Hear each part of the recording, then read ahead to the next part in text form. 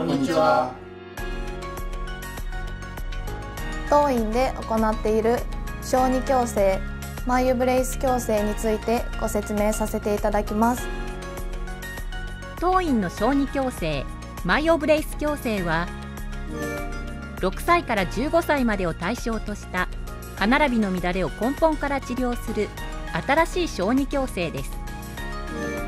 従来の歯並びだけを治す矯正と違い呼吸や嚥下筋肉の使い方を正すことでお子様をより健康に導く矯正治療です。姿勢の改善や願望の正常な発達に寄与するとともに歯並びの改善も促します。当院のスタッフがコーディネーターとして患者様のお口の機能向上を支援します。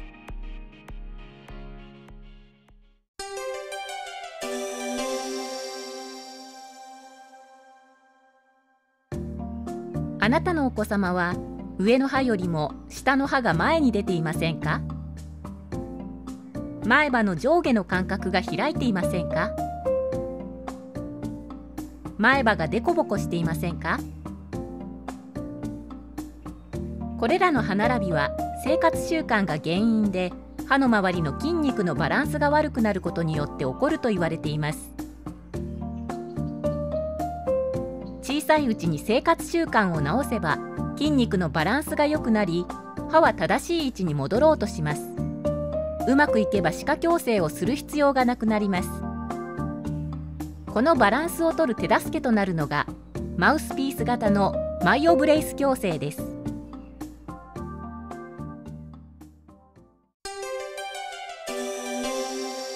それでは実際のマイオブレイス矯正の流れをご覧ください。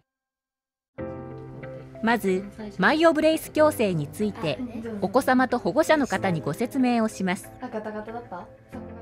治療に対する疑問や方法なども詳しくご説明いたします。次にお子様のお口の検査。姿勢の写真撮影。矯正専用レントゲンの撮影。歯型取りなどを行います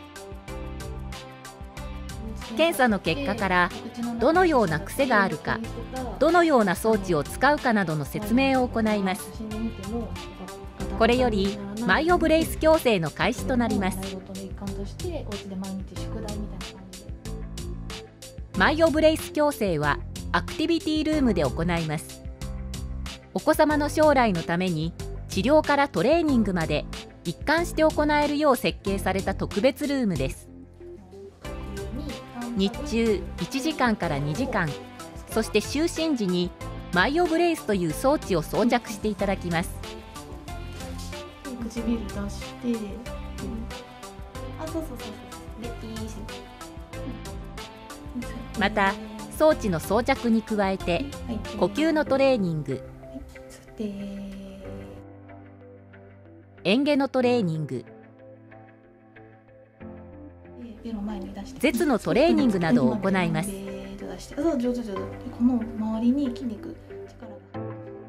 専門の協会で認定を受けたエデュケーターがトレーニングを担当します。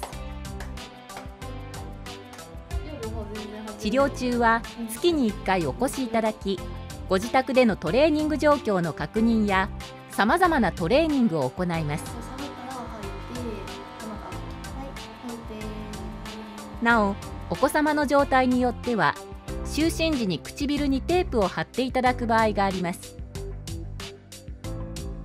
また顎を拡大するための補助装置バイオブロックや BWS などを使うこともあります。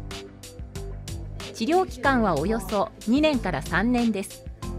マイオブレイスの使用頻度や専用トレーニングの習得度によって治療期間が前後する場合があります。マイオブレイス矯正の目標は大きく4つです。鼻呼吸の習得舌を正しい位置に置く正しい飲み込み方の習得口を常に閉じる。これらができるようになれば治療は終了ですが習得できない間は治療を継続します。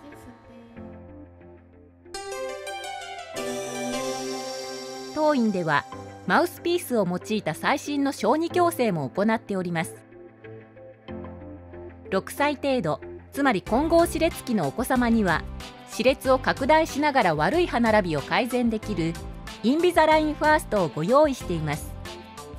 事前のコンピューターシミュレーションで歯の大きさを予測してスペースを作るためお子様の成長に合わせて効率的に矯正治療を進めることができます。また10代のお子様には成長を妨げない設計のインビザラインティーンがございます。マイオブレイス矯正やマウスピース矯正が適しない場合は機能矯正であるネオキャップビムラー矯正も提供しております。固定式の装置ネオキャップと取り外し可能な装置ビムラーを併用することにより上下の歯列を一緒に直して自然な願望の形成に寄与する矯正治療です。このようにさまざまな小児矯正治療法も提供しております。お気軽にご相談ください。私たちは春日井市周辺のお子様の歯並びだけではなく体全体の健康を見据えてマイオブレス矯正やマウスピース矯正を提供しております。マイオブレス矯正やマウスピース矯正は従来の矯正と違いリーズナブルで体への負担も少ないのが特徴です。お子様のより良い健康より良い人生のためにぜひご検討ください。